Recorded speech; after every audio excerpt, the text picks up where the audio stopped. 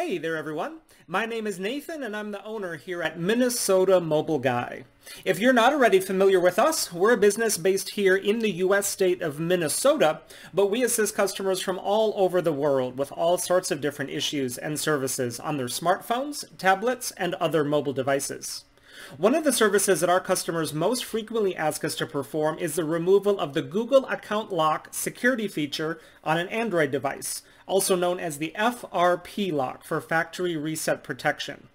Now, here with us today, we happen to have a Samsung Galaxy A14 5G and this device does indeed have the Google account lock enabled because as we can see here, as we're going through the setup steps, we get to the screen that tells us that the device was factory reset. And to continue on in the setup process, we have to sign in with a Google account that was previously used on the device.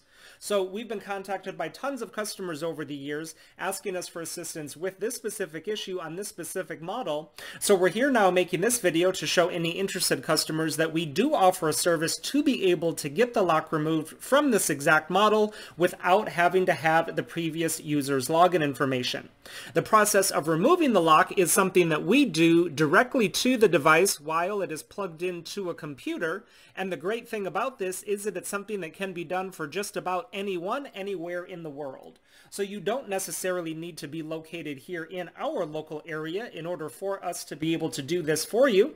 You would just need to have a decently powerful Windows computer along with a fast internet connection, and we can remotely connect right to your computer through the internet to perform the exact same procedure that we did here with this one. So, actually before starting the video, we had already done 99% of the work necessary to remove the lock. We just left it in place right before the last step so that you guys could all see with visual proof that the device was indeed locked so that you know we can actually do this, that we're not trying to trick or scam anyone here or anything like that. The last step of the process was basically just to restart the phone. So now that that's done, we'll go ahead and go through all of the initial setup steps here, and we should be able to see that we can get all the way through them without running into that Google lock.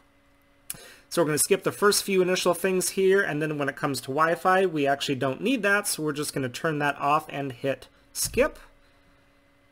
And we don't need to insert a sim. We don't need to do that. We do need to read and agree to all of the Google services. We don't need to set up a screen lock. Uh, we're not going to do that part. We don't need a Samsung account, so we're going to skip that also. Then there's other Samsung services to read about.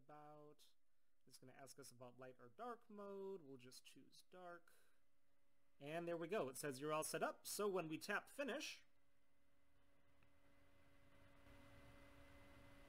There we go. We've got the home screen loaded up. We've got full access to all of the apps and settings and features, and it is just like a brand new device that never had the lock on there. While we're here, I'm going to pop over into the settings just to show you exactly what we are working with. So when we go under About Phone, we can indeed see that we have a Galaxy A14 5G, and then that model number there, the SMA146U. That's the model number of all of the US versions of the Galaxy A14 5G. So if you have one of these same models with the Google Lock enabled and need help getting it removed, we would love to assist you with that, so go ahead and get in touch with us. All of our contact information can be found right down in the video description, and we'll also put a slide at the end of the video that has all of our details there as well. While you're here, make sure to check out some of the other videos that we have here on our channel, as we offer a lot of different services for thousands of models of mobile devices, and I'm sure you'll find something there that could come in handy someday. Hitting that subscribe button while you're there will enable you to be notified of all of the new videos and services that we're constantly adding and putting up, just like we're doing here with this one. Y para todos ustedes hispanohablantes, nosotros también hablamos español, así que ustedes también nos pueden contactar sin duda. Thanks so much for watching everyone, and have a great rest of your day.